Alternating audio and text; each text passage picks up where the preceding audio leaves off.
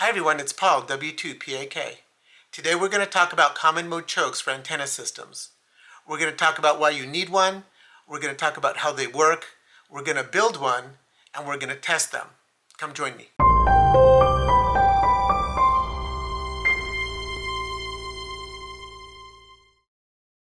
So this is an example of an ideal antenna system. This is an example of a dipole with the two wires. The transceiver produces I1, and uh, of course I1 needs to be balanced with I2 because this is a balanced system.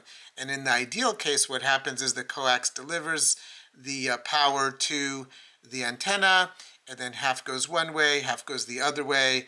And as we said, I1 needs to equal I2, and uh, there's no problem. Now, as we know, life is not ideal, and the real world looks more like this. So in the real world, what happens is, yeah, you'll have I1, say, in, in one part of the uh, dipole antenna, and I2 will actually cluster on the inside of the coax because of the skin effect. So I1 goes one way, I2 goes the another way, but what happens is you also have common mode current, which is on the outside of the uh, coax. And so when on the outside of the coax you have I3, suddenly you have an unbalanced system where I4 in one of the arms of a dipole is going to be I2 minus I3. And so that creates an unbalanced system and it causes all kinds of trouble, both on the receive and the transmit side. So on the transmit side, we have a problem because what it does is it, it basically changes the antenna system. And like I said, it becomes unbalanced. W0IVJ was kind enough to, to allow me to use uh, some of his uh, simulations here. And you can look him up if you're interested in more information. But what he did is he took a three element Yagi and uh, he simulated it with and without a balun. So when he says balun, he means a common mode choke. So with the common mode choke, for instance, you can see that the radiation pattern here in the in the uh, black is what we expect. A very nice front to, to back ratio. Um, pretty much uh, it's a simulation, so it's perfect in terms of the radiation pattern. But if we do a simulation without a common mode choke, you can see that we lose here, it's about 2 dB actually, but also we get, you know, the backside is not as good as it was with the common mode choke.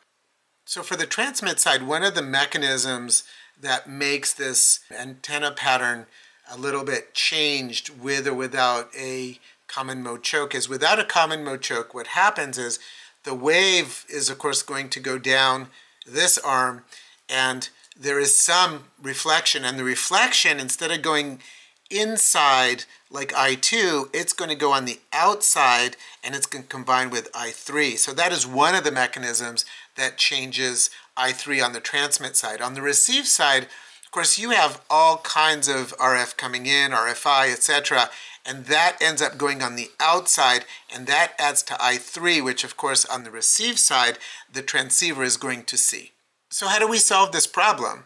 Well one way to solve the problem is to put a common mode choke between these two and the idea of a common mode choke is to allow I1 and I2 to pass through while choking I3. And so let's see how we're going to do that. Okay, so this diagram is not super accurate, but that's not the point here. The point here is to try to understand how a common mode choke works. So let's remember that we have I1 in one of the uh, conductors, and then we have I2 and I3 on the other one. Remember, I3 is on the outside of the sleeve, and I2 is on the inside. So the idea here is we want to pass I1, this is a current, it's called a current transformer, and I2, but we don't want to pass I3. So the way we do this is this. I1 goes in and it will create a flux here. And that flux, call it flux 1, will go say this way. I2 will come in and create another flux in the opposite direction we're going to call this flux 2, and they cancel each other out. So if there's no flux in the toroid and the ferrite, there's no inductance because inductance equals to flux over current. And zero flux, zero inductance. Now, what happens is this, that the I3 creates a flux, let's say like this, but there's no I3 here, so now we have flux, we have flux, we have inductance. So if we have, say, flux 3, we're going to have L3 equals flux 3 over the current, and what's going to happen is the reactance, XL, is J omega L. And now we have ourselves some reactance. Now, this is a 50 ohm system, and it turns out that when you design these things, you want the reactance to be on the order of thousands of ohms. And now you have a really nice attenuation and I3 is not going to go through here and you're left with I1 and I2. Sorry, the directions here are supposed to be opposite. So that is the way this works. I hope this was clear. Now we're going to go to the workshop and uh, see if we can build one of these things. So we're in the workshop and uh, we're going to build a common mode choke. We have the uh, toroid here, the ferrite toroid, and uh, this is a little table. You can see that uh, the FT140s, basically the 140 signifies kind of the power so the 140s are the lesser powers, and then the FT240s are higher powers.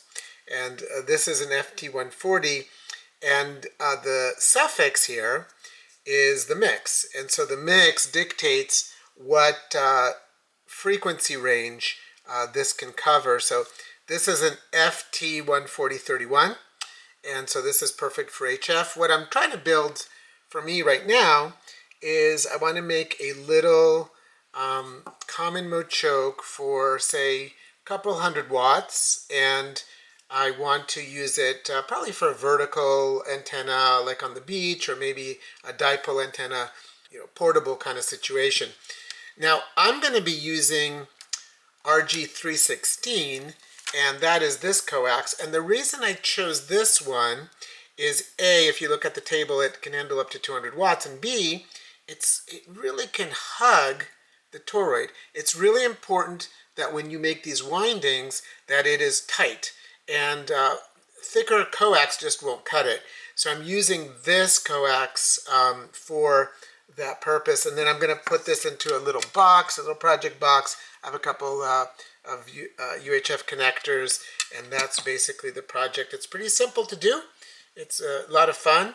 Uh, so we're going to do that. Now, if you want to do a little bit more power, you can see, so like a 18 gauge, you know, with maybe an FT240, you can do it this way.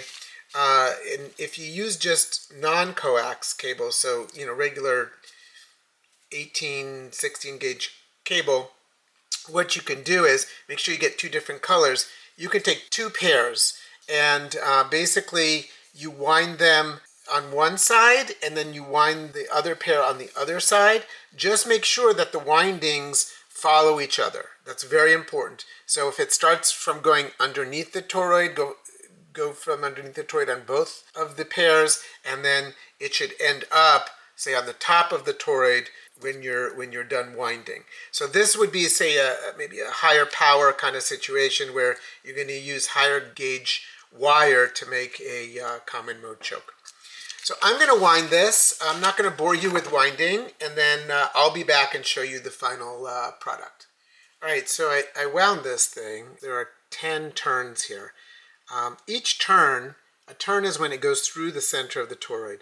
So I did one, two, three, four, five, and then this one goes up and to the other side. I don't know if you can see it, up and to the other side, and then six, seven, eight, nine, and 10 and I put two little zip ties here to keep it nice and uh, sturdy.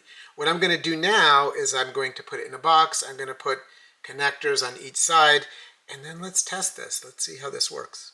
here we have it. So basically, this is the wound uh, ferrite toroid and um, connected to, to UHF.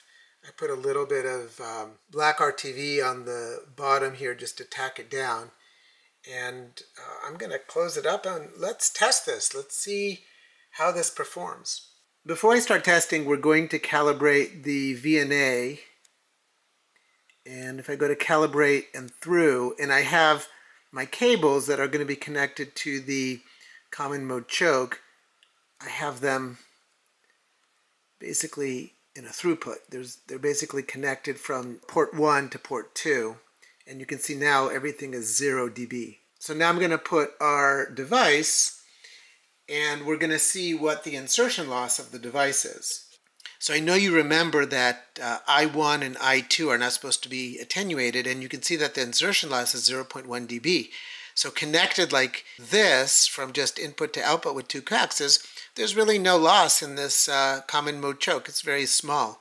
And what we're going to do next is we're going to check to see what kind of attenuation this has uh, for the that I3 we were talking about, for that common mode uh, current. So this is the, really the attenuation of the common mode current. You can see that at 80 meters, it's we'll call it minus 29 dB, and it goes up to minus 22 dB at 10 meters. Really good rejection, very, very nice. This common mode choke is working very well. So the last thing I want to do is I want to look at the noise floor with and without the common mode choke. You can see that the noise floor here is probably around S4. This is 15 meters connected to a uh, 15 meter vertical antenna. It's just a wire. And uh, this is without the common mode choke. Now I'm going to put the common mode choke and let's see what it looks like. What a huge difference. S0. Just, just about going to maybe S0.5.